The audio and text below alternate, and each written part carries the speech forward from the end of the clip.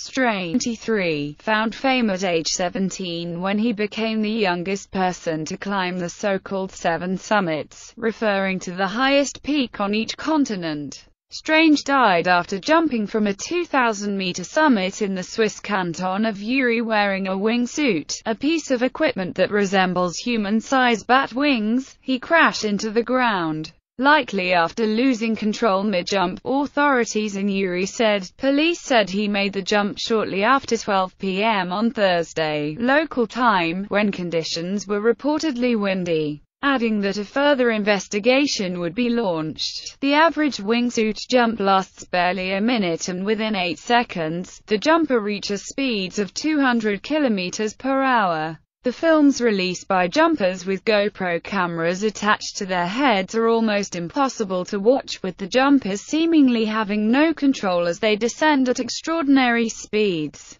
often slipping through narrow mountain passages, but enthusiasts say the focus on danger and death undermines the incredible skill and preparation required of a successful jump, aside from strange. Perhaps the most prominent wingsuit-related casualty was the August 2013 death of Mark Sutton, the James Bond parachutist from the opening ceremony at the London Olympics.